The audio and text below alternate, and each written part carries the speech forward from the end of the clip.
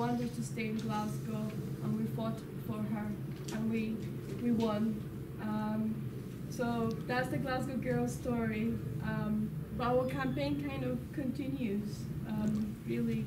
And um, for me, education has been a very powerful tool that I have used.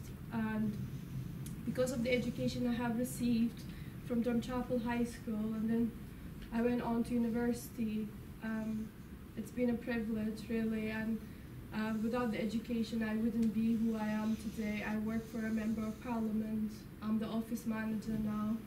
I, I kind of manage um, everything. Um, you, you name it, I do it. So um, really education is very, very important. And um, Mr. Girvan mentioned the booklet here. Um, so this book, booklet is now going to be published um, and is going to be distributed throughout every school um, within um, Scotland probably. Um, so really the booklet, it integrates um, many families, refugees and people who've come from different backgrounds, different communities, um, making sure that they're integrated into Scotland and they're welcome. Um, because many of us, we speak different languages, we don't speak Glaswegian, or English, so we don't know the language initially and we have to learn the language. So this booklet is kind of a welcoming for us when we come to this country. And of course, when you come to this country, it's very, very hard. Imagine if you come to, if you go to a different country yourself and you have to learn a new language, it's very, very difficult. Um, so that's how other people experience when they come over here. Um, so yeah, I, I, hope that this booklet will be really um, a beneficial for many people. Um, I don't know what else I can talk about. Um, I love questions, and if you have questions at the end, I'm more than happy to answer your questions about our campaign or about anything that you want to raise, okay? Um, I think for me, thinking back to the campaign, I feel as if like we didn't really know what we were doing at the time, so we were just like like you guys, just pupils here at Drumchapel High School. But we spotted an injustice, we spotted something that we just felt wasn't quite right. And at the time we kind of thought, well, what can we do about it? We're just seven wee girls from Drumchapel and from Somalia and Poland and Iraq and um, did I cover everyone there? Over the world. Yeah. Um, but I think the campaign shows that you've probably got more power than you think and that everyone can make a stand and stand up for what they believe in, and you don't know where it's going to lead. You know, it's, it's pretty, it's such a privilege to be back here at Drumchapel High. You're so welcome and so thank you for behaving yourselves and listening to us as well. Um, I'll tell you what I'm up to now. So, um, the campaign gave me a real interest in the media and the power of the media because obviously we spent a lot of time in front of TV cameras doing interviews with journalists so I am now um, working at BBC Scotland. So I'm a TV producer there, working on a news programme. And I honestly think if I didn't take part in the Glasgow Girls campaign, I don't even know if that's what I'd be doing. Um, so it's been a real, I'm so glad I came to this school. it's been a real, um, a real confidence builder, you know, doing something else that you care about I think is really important instead of just going about your life, going to school, playing games. You know, like it's, I think it's important to work out who you are at this age and find something you're passionate about and harness that. That's what I would say. Anyway, I know you guys have got questions for us. You've been watching, some of you have watched the, the film, haven't you? Who's, who's watched the film? Yeah, many of you, yeah. All of us. Okay. What did you think? Was it rubbish or was it alright? It's good, yeah. Was it funny to see your own school in the film? Yeah. That must be weird. So, what was your favorite parts in the in the films? When we saved uh, uh, Agnesa, Agnesa. yeah, and we were partying. Oh, yeah. Well, the real party was even more. The, there's a whole lot of stories that you won't know because the, right, the film's just one part of it. But were you talking about the party in the film once they've saved everyone? No. No. Well, what? There's a video on YouTube of the actual. Of the actual party? Oh, you've seen that, right? But we see, even in the video, the actual video of the actual party, the problem was, they were, all the girls were so excited of the actual party when Agnesa came home, they went into the lift, right? And the lift got stuck, and they were all stuck in the lift for, what, about forty-five minutes, something like that? Until the uh, fire brigade came and got them out, right? So these are these stories that you don't even, you don't even know about, that, but that just happened behind the scenes. Anyway, we want you to ask us some more questions. Uh, Right, we'll take you first, and then we'll take you, and then we'll take you, right, you first. just want to, I just want to be a refugee. Um, I can answer Uh, it's very hard um, because you're gonna face a lot of barriers um, that other people won't face. Um, then you have to really break those barriers, making sure that you belong here and you integrate with other people. Um, I tried through my journey to break some of those barriers for other people. So hopefully other people want refugees when they come over here, they they don't face those barriers again. Um, so I hope it's easier for new arrivals, like new Scots. Um, But do you think people have certain assumptions about refugees? Like if you were meet someone for the first time, have they maybe heard bad things about refugees or? Yeah, I mean there is a, a bad image about refugees. Many people think that why these people come over here, um, they don't really understand the full story, why you become a refugee. Um, and I think that it's about understanding, or I don't really know where that comes from.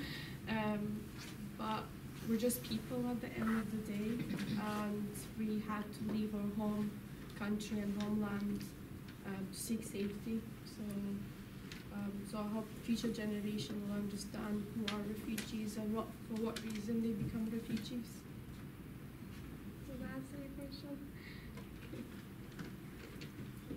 Maybe next, Um, next. You first. um, how did it feel? How it's for both of you.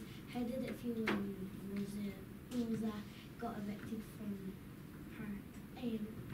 Agnes got evicted from her house. Angry at the time. When she was downgraded? She's downgraded. Yeah, I was very angry. Yeah, I do think. Um, I don't know if I don't know if you got evicted from your house, but it was a question for you and Emma that I didn't know. It was I didn't know who got like evicted from their house.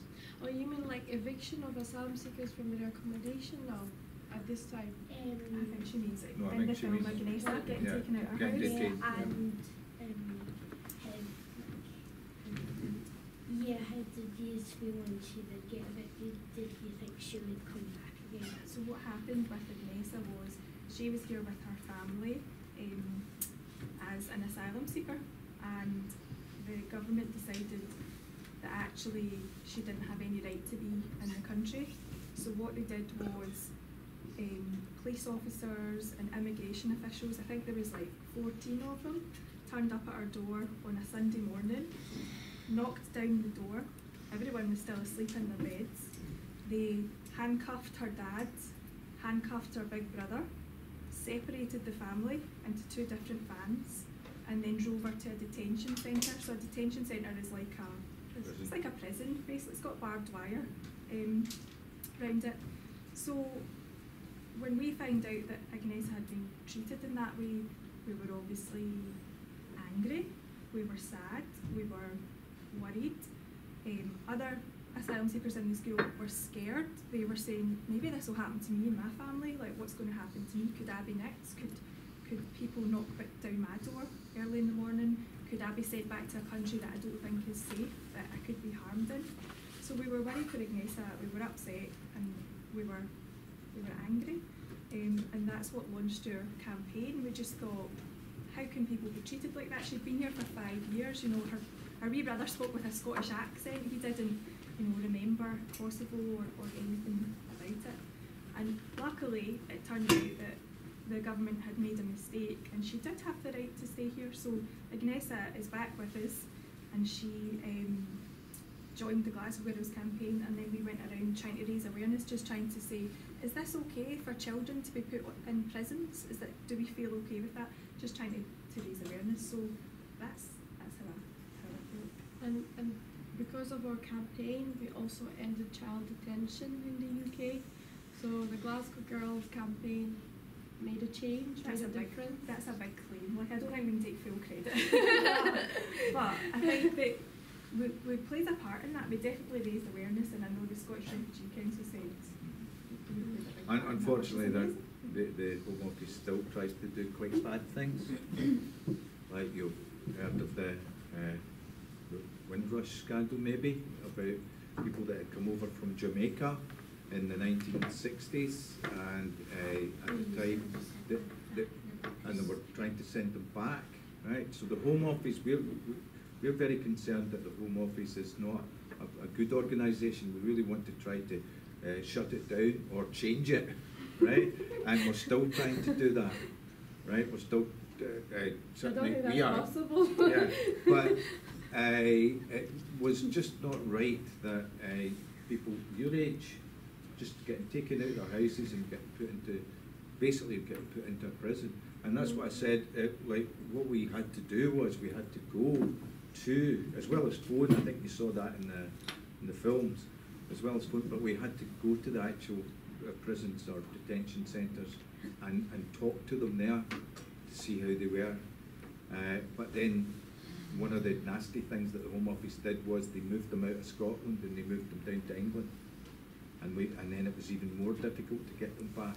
But we were very lucky that we, if we hadn't made a campaign about it, then people wouldn't have been interested in it. And then the it was a journalist who realised that the uh, Agnesa and her family shouldn't be sent back, right?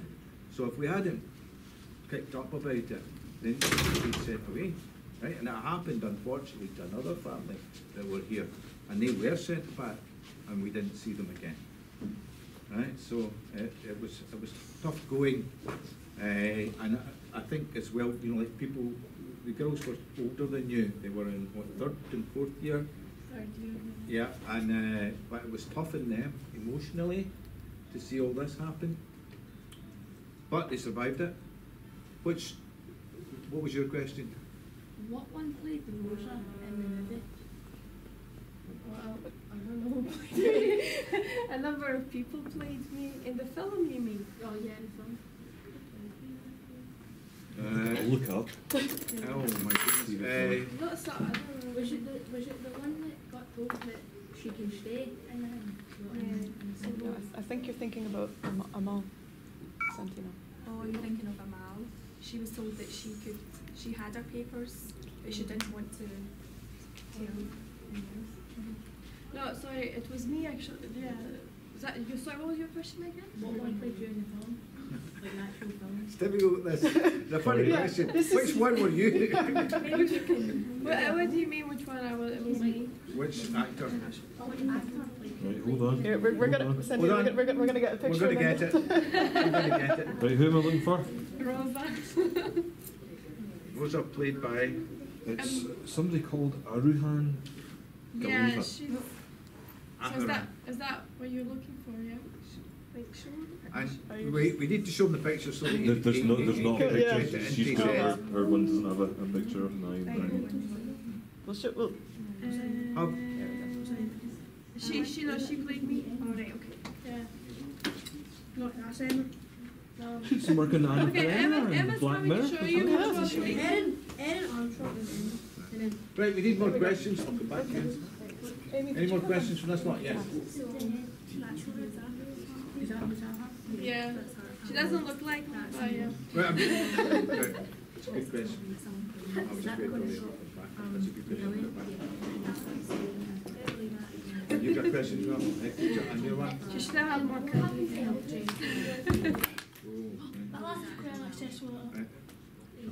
Okay, uh, I've just been asked a question. Did the head teacher uh, agree with the campaign? Yes, we were lucky we had a head teacher that did agree with the campaign. And what happened was that uh, the head teacher agreed, and I agreed, and a lot of teachers in the school agreed. There's only a few teachers now in the school that were there at the time. Uh, but we, we did get uh, someone from the council come and tell us that we shouldn't be doing it. And we, and we sort of argued with them about it, right? So both the head teacher and myself got what was called an official warning, right? But we just ignored it, right? And we just went on doing what we're doing because we thought, well, we, we have to protect, uh, we have to protect the girls and we have to do this for the school. So the head teacher at that time was called Mr. Blakey, and Mr. Blakey's been very supportive of us all, and uh, he uh, uh, kept just saying a few words to some people in high places to help the campaign move on. So we, he's also a Glasgow girl, like me. I'm a Glasgow girl, right? right? And he's a Glasgow girl too, right? Now, the next question was yours, which was Um, what happened to Elvis and we don't have touch on him today? Elvis. What happened to Elvis? Elvis, um, the true story, Elvis came back to the country, so he was removed from the United Kingdom forcefully, but then he came back to the United Kingdom. And now he has a wife and children. Right, and I met him once when he come back. Right? Elvis was, uh, see when he was at school, uh, you know the name Elvis is quite an important name, isn't it? Right? And uh, when we were at school, Miss McKenna took everyone out to, uh, a, an, uh, it was at the Magnum Sports Centre, and it was a nice thing, right?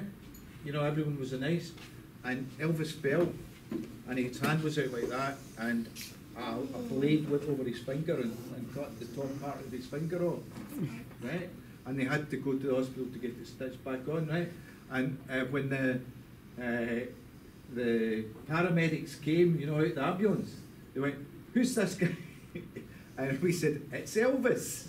And they said, "You're joking." You know, nobody could be called Elvis except Elvis. It was going, no, his name is actually Elvis. And they were going, no, it's not. Come on, tell us the truth. And he's standing there, you know, got ice in his finger. We're saying, could you just go and sew his finger up, please? You know, ridiculous. But Elvis, uh, yeah, I, I saw Elvis when he came back and he was okay. Uh, now, I think Elvis was a, was, was it true that Elvis had a wee thing for Agnesa? Yes, that was true. I can say. Hmm? Yeah, yeah, there was a wee sort of The romance.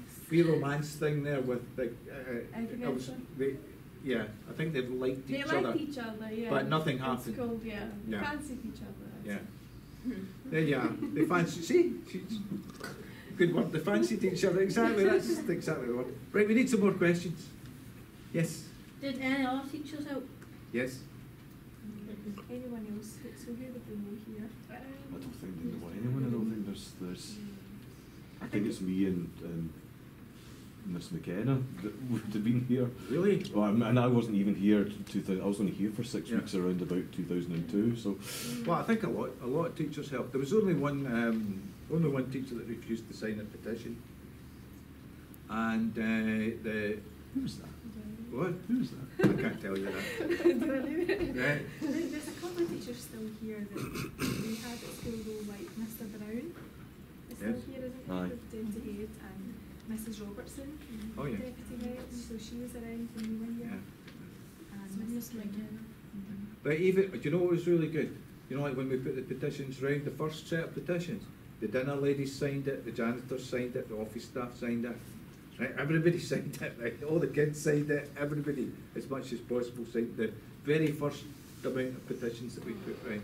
And that was really important. And as I say, most of the teachers, apart from one, all signed peti- uh, petition as well. So we got that, all that moving very, very quickly.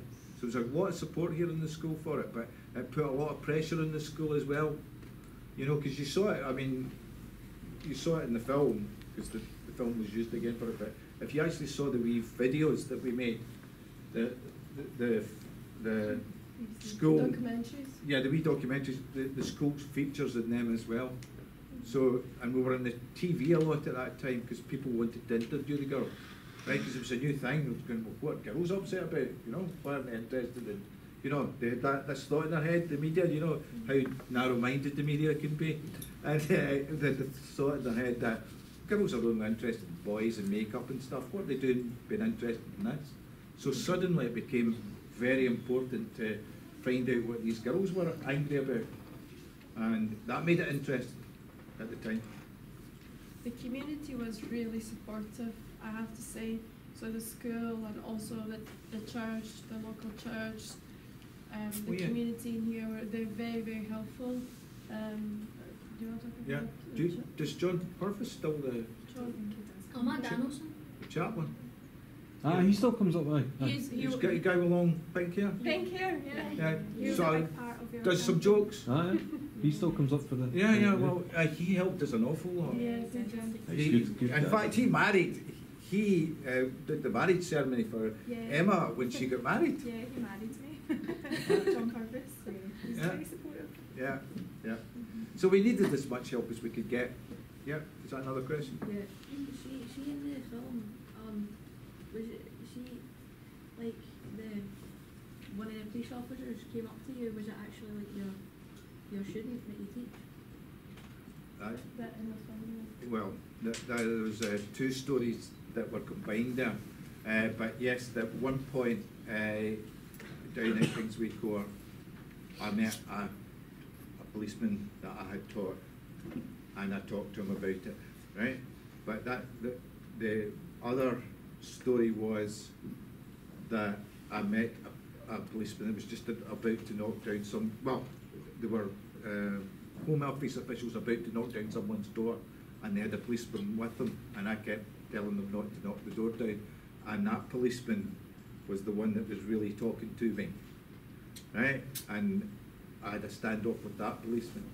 So they come, they see when they made the film, they put those sort of two stories together and just made it one story, make it more entertaining. right? But sometimes in the see the film you saw, sometimes we had to say no, no, no, no, no, it didn't happen that way.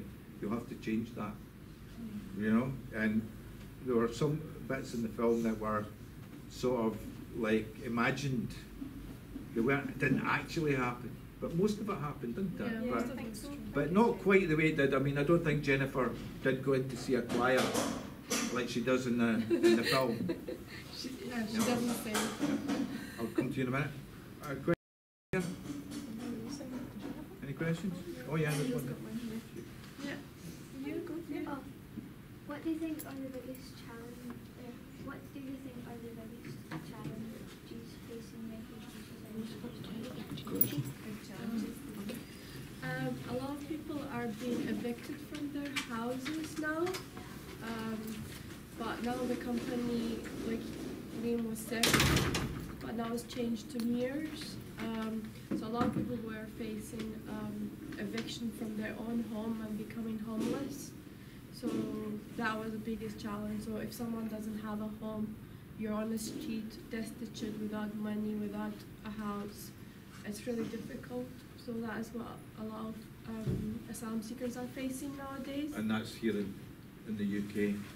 But then when you look abroad, then it's even worse, or it's just as bad because the people are still fleeing the problems in Syria, the war in Syria, and that impacts on other countries, and people are trying to find a route to a safe place, but nowhere safe for them at the moment. So that makes it very difficult for asylum seekers and refugees unless you put in a, a lot of resources to help them. Right? And that's still why uh, poor people are trying desperately to come to come to countries that are safe. You saw how terrible it was. Remember the re- recently the big lorry that had the North the Vietnamese people in it, and they all died. Could you imagine thinking, oh, I'm going to a good country and I'll be safe there, but I need to go into this refrigerated lorry for three days, They starve. and they died because they they died because it was they starved and it was also very very cold. So eventually they used up all the air in the in the place and just died. You know, so it's a terrible thing that can happen. I mean, I don't want to get into Rosa's story too, it be upsetting, but Rosa had a terrible journey on a boat with her family to get here. A really, really tough journey. I remember her telling me about it. Not trying to upset you, but it's it was hard, right? And these things, when, people tell you the real story of what happened to them, you you realise, oh my goodness, that's never happened to me, right? So it's like something. If you can imagine something really bad, it's like hundred times worse. The thing is a train because uh, you're very young. Because I came here very young. When I think about my journey, like like a dream, it never happened. But it- dream, A dream. a dream. Uh-huh. About like it never happened, but it did happen, and I went through that. Um, like the survival instinct being the boat, how terrifying it was. Um, my sister was with me. My sister was only one years old. Um, and you know, it's just thinking about it. It gives you nightmares, you know. Um, but it's, it's, it's a really difficult journey for many asylum seekers and refugees. So, I remember in this very library, um, we did a display. I don't know if you remember this, but um, everyone, lots of refugees in the school, wrote down their story of how they got here and displayed it on the wall just over here. So Mhm. everyone had their stories up here. And there was one uh, that I'll never forget, and it was Abdullah's story. I don't remember but um, Yes.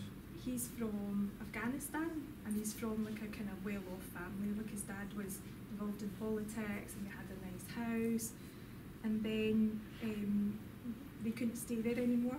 It wasn't safe, so they paid thousands and thousands of pounds to people smugglers to get them here, and it was it was horrendous. It took them weeks to get to the UK, and part of their journey was on a boat too, and um, everyone was kind of cramped, stuck together, and one of the people smugglers had a gun, so everyone was really scared.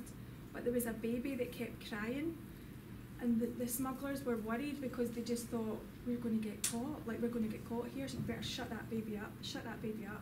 And the baby wouldn't stop crying, so the smuggler just took the baby and threw the baby into the water. And you know, so so Abdullah witnessed this, like watched this this baby in, in the water, and you just think everyone talks about the trauma that people come from, but actually that's just the journey getting to the UK.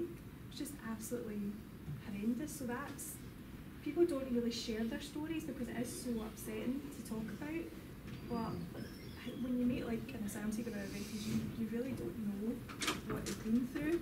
And then they come here and they hear people say, "Oh, you're just here to take our jobs. You're just you're just here to take our houses." And you know, I don't think they go through all that for nothing. It's one of the things that struck me. I was a student teacher here in 2002, and um, I was given the personal essays from the fourth year mark, including a number, and actually I think Abdullah's might have been one of Yeah. them, because I do remember uh, it was staggering the stories that people were telling just about the journey, not and, and little bits about what they were leaving behind. It's um, incredible stuff. How long do you think, Rosa, it took you to adjust after something, something like that? I don't know how long it would take me to get over something like that, but I still like, like, see when I saw people like the Syrian refugees, yeah, it brought a lot of like, um, like it was very traumatic for Sure. me because it brought um, my journey back to me, uh, like a trauma kind Mhm. of, because you see people on the boat, and that's how I came over here. The boat were um, not safe to be on yeah, and you could sink at any moment. And we didn't even have, you know, different organization now goes to the Med- uh, the Mediterranean and kind of helping people Sure, sure. coming across. But at the time, there wasn't any help like that, Yeah. and we were just left for faith, really, to save us. Um, and I think, like, I, I don't know it's I think I've kind of now moved on because I've been here for so long. I've, I've been here for more than 20 years now. Um, but it's still like, you know, touch and go Of because course. I'm very close with asylum seekers Uh-huh. today and refugees. Um, like, I can't, it's something that I can't, like, just leave mhm. And I still support people.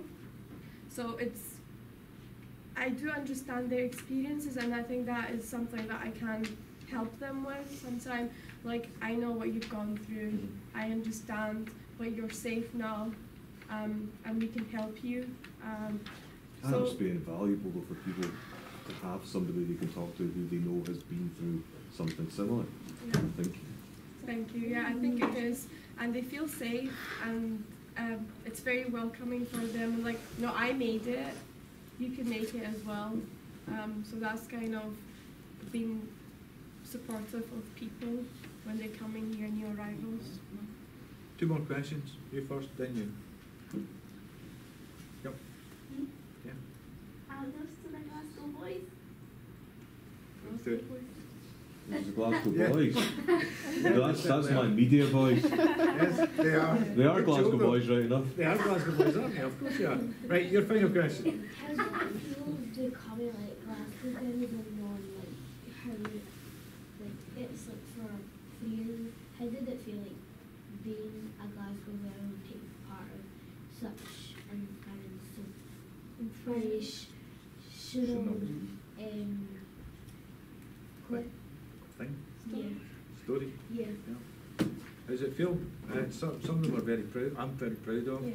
We're all very proud of. It's. I think we have had to stick together because of what Rosa was saying though as well. Uh, it had a big effect on all of our lives, and uh, we, we, it still has an effect on our lives. Uh, so uh, that's my feeling.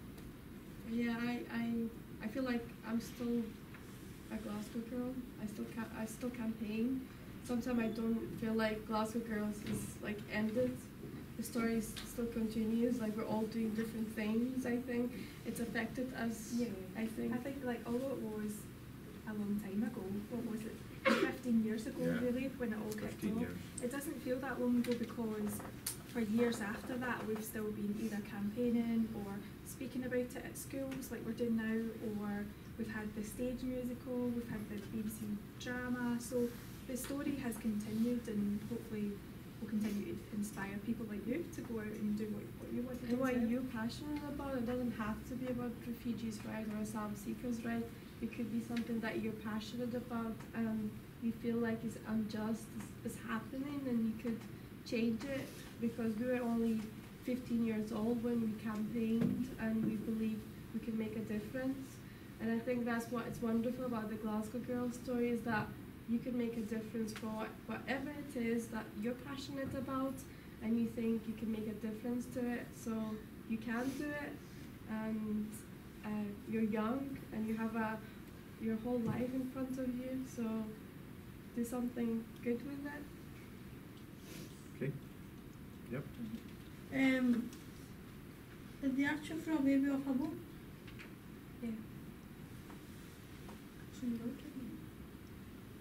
Yeah. Yeah. This one first. Do you know the babies, like their like their skeleton, like their body? Do you think that's still in the water? Yeah. Who made the name Glasgow. Girls? we all fight about that. We all fight about it. Everyone fights about it. We all did. We all, Um, so Rosa and Amal were doing a TV documentary at the time it all happened. Um, Yeah, I on think Glasgow Little Theatre. yeah, like it was it was really funny. I think I remember it. I'm I'm not taking for credit for it, but I, I remember it very vaguely. But we went to BBC, um, you know, the BBC place where they make the documentaries, and we were speaking to Lindsay Hill. So Lindsay Hill just like you know. she was the documentary maker. She Yeah, she- helped us. She Yeah, edited it. She edited all the film and everything about the Glasgow girls. So she was like, "Oh, there was a you know Glasgow boys and there was the Glasgow girls," and she was like, "Why don't we just name it that?" I was like, "Oh, that's a good title," and we came up like so. We just used it. We just used it. So, so Lindsay there. I would say Lindsay came up with it Ah. because there right. used to be like the Glasgow boys. Um, was that? Like those two over there. Yeah. Yeah. And then Yeah, and then they were like, "W- we should name it the Glasgow Girls. Uh, so that's how the kind of the name came up with, and we we agreed to that, and we said that's It gave us really- a good title for, you know, if we were in the papers or Yeah. on TV, people kind of knew rather than oh the seven girls from Drumchapel High. It was just the Glasgow girls. Uh, and also, like the Herald was the first newspaper to publish our story, um, so we really like thank them. Is that correct? Um, if I say this, Yes. the Herald. Okay. So the Herald newspaper um, was the first newspaper like published our story, and then the other newspapers ran our story as well. So um, without the Herald, the Glasgow Girls w- wouldn't be a story as well. I would say. I wonder if the media students have got any questions before we go. Yeah. Oh, of the media Media students, you got any questions? I did spring this upon them, so they're, they're not really No, that's exactly anything there. that. Uh, right, okay, uh, oh, there's some more questions. I think we'll go for last question. Last questions then, one and two, and then uh, if you want to take Okay. selfies, is that right? Yeah. You Okay. want, you want to get selfies, you can get that. Oh, I'm acting yeah. like a business manager, but they're, and they're free. It's okay. Right, la- second last question.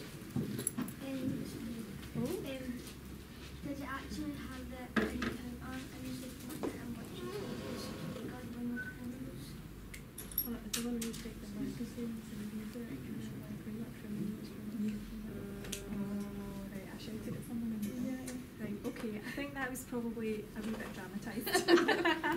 but I think they put that in because I would often have debates with people, you know, like I don't think do you know that way everyone knows someone that's a wee bit racist?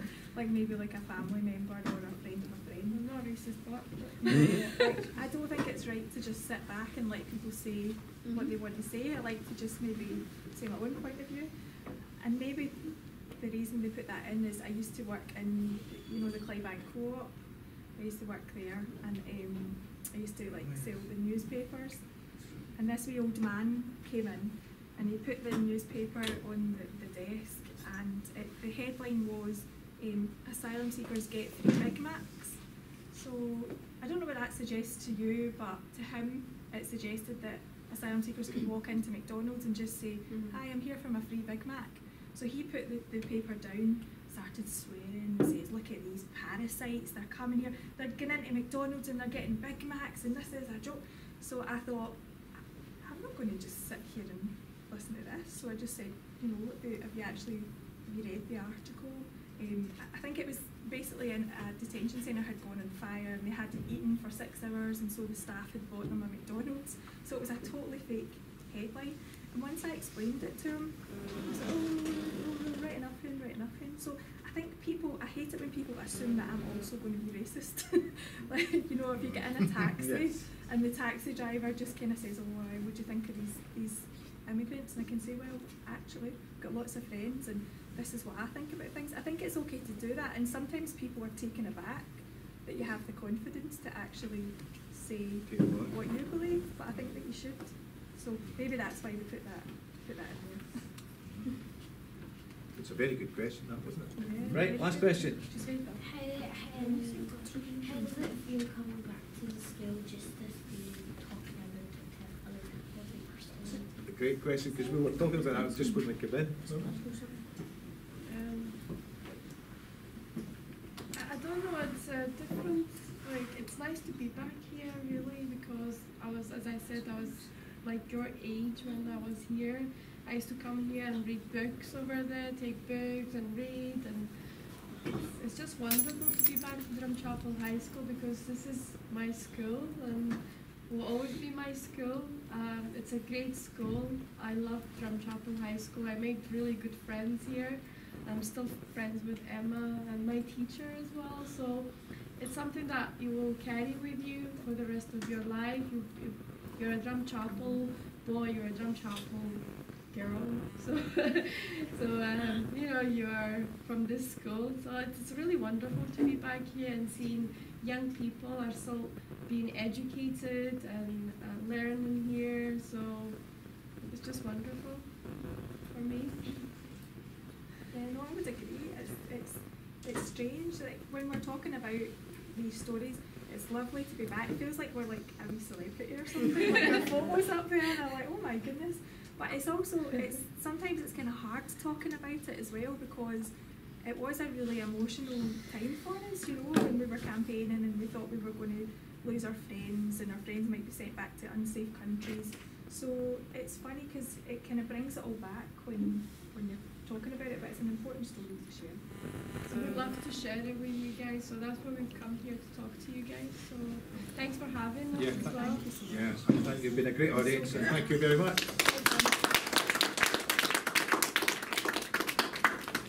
So selfies? Selfies? Okay.